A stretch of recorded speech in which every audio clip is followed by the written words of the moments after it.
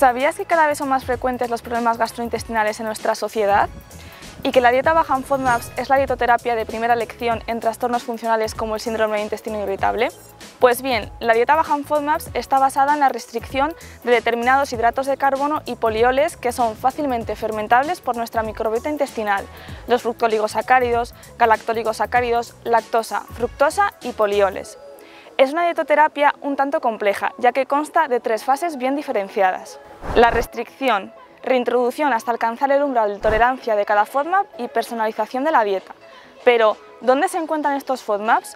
En muchas frutas, como por ejemplo la manzana y el mango, en verduras como la cebolla y el espárrago, en legumbres, en cereales como el trigo y el centeno, los lácteos y frutos secos como anacardos y pistachos, entre otros. Por ello, el plan dietético tiene que estar pautado y supervisado por un profesional de la nutrición, como lo es el dietista nutricionista, para disminuir los síntomas digestivos, asegurar el aporte de micronutrientes y garantizar la adherencia al tratamiento, para así mejorar la calidad de vida de las personas afectadas.